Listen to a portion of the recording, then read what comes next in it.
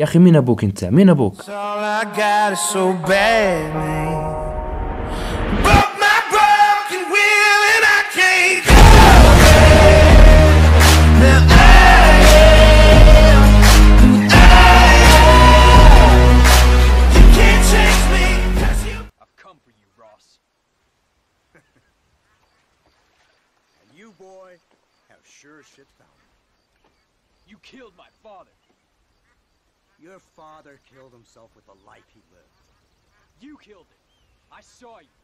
You keep saying that. You sent him to do your dirty work. Then you shot him like a dog. And I'll shoot you like one too, you little piece of trash. Now get out of here before I kill you as well. I ain't going nowhere, old man.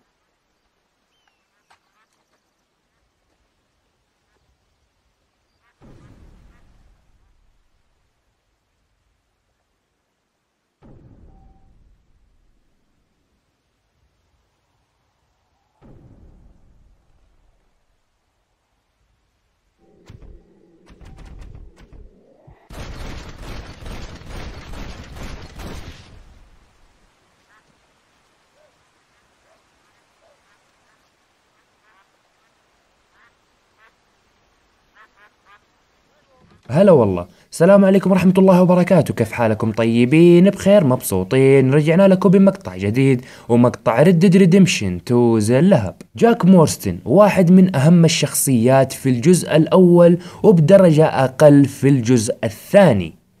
جاك مورستن كثرت النظريات حول هذه الشخصية ومين والد جاك مورستن الفعلي.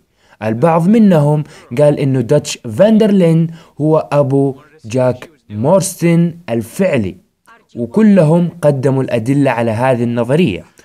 والجانب الآخر قال إنه خافيير سكويلا وبعضهم بعضهم قال إنه والد جاك مورستن هو آرثر مورغان طبعا في الجزء الثاني من لعبة Red Dead Redemption 2 تم ذكر أن جون مورستن ترك العصابة لمدة سنة كاملة بسبب اعتقاده أنه جاك مورستن ليس ابنه. زوجة جون مورستن أبيجيل انضمت للعصابة عام 1894 سنة قبل ولادة جاك مورستن. جاك مورستن انولد عام 1895 داتش ضم أبيجيل للعصابة واعذروني على الكلمة التالية ضمها كعاهرة وإن دل على شيء فهذا يدل على أنه معظم أفراد العصابة أقاموا علاقة معها ودليل هذا الكلام راح يكون أحد الكات سينز في الجزء الأول من اللعبة داتش يقول الكلام التالي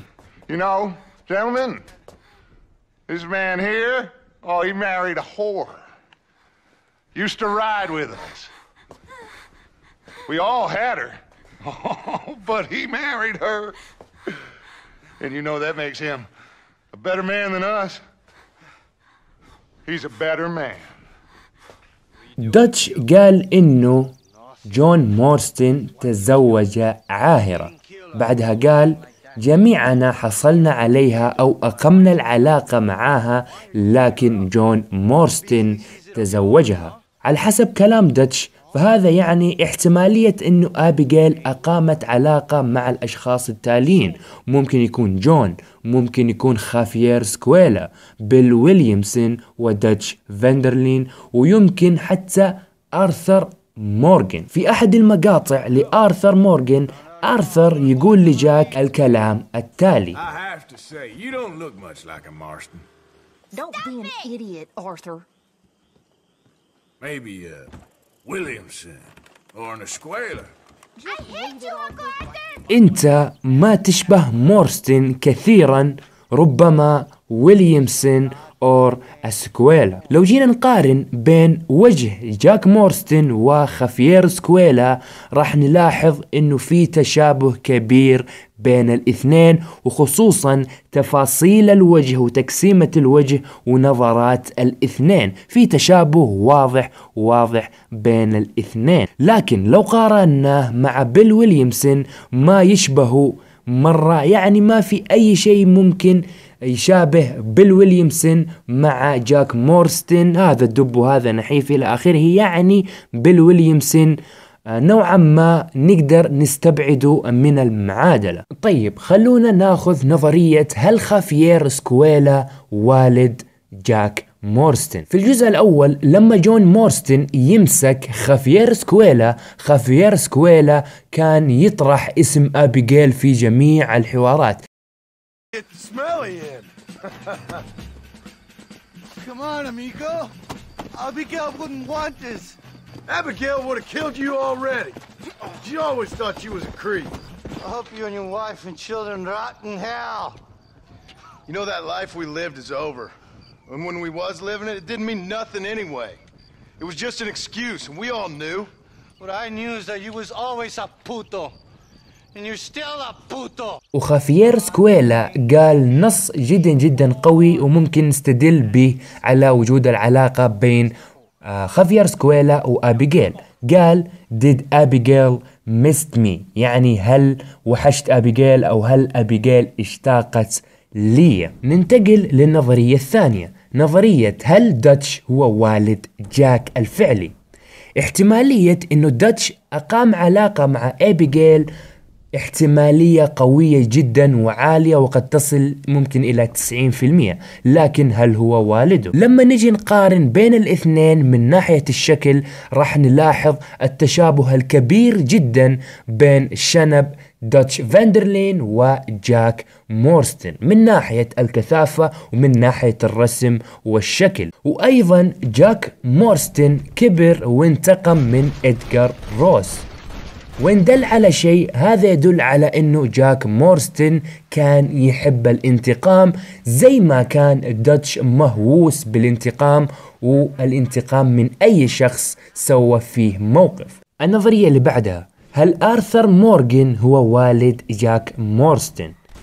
آرثر سابقا قد كتب في مذكرته التالي many years ago اللي هو قبل سنوات عديدة قبل ما أبيجيل تقع في حب جون مورستن ربما المفروض إني أنا تزوجت ابيجيل وإذا ما كنت متأكد تقدر ترجع وتشيك من مذكرة آرثر. إن دل على شيء فهذا يدل على أنه آرثر مورغان كان يحب أبيجيل لذلك كان يهتم بجاك مورستن بشكل كبير جدا ومهتم بأموره وأيضا في الجهة الثانية كان جاك مورستن يحب آرثر مورغان بشكل كبير جدا وأيضا في أحد اللقطات أنكل كان يقول لأبيجيل التالي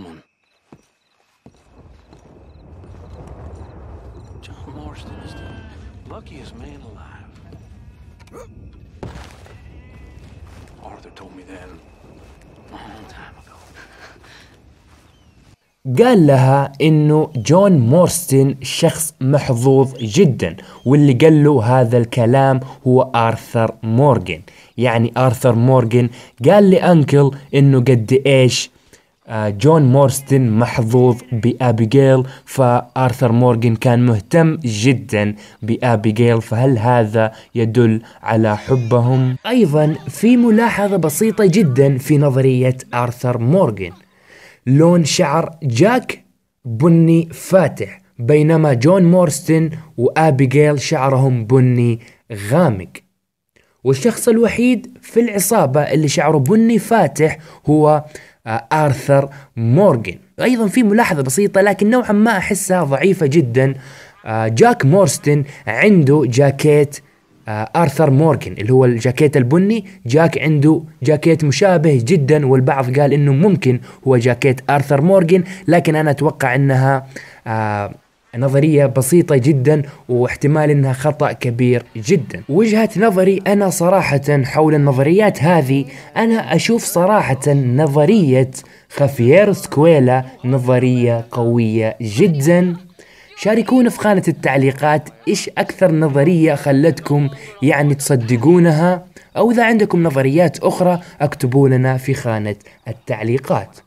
طيب كذا وصلنا معاكم لنهاية المقطع. لا تحرمونا من ال like وال subscribe وتعليقاتكم الحلوة. حطوا like ليجيكم هد الآن يدمر لكم الجبهة. تدمير. يلا سلام عليكم.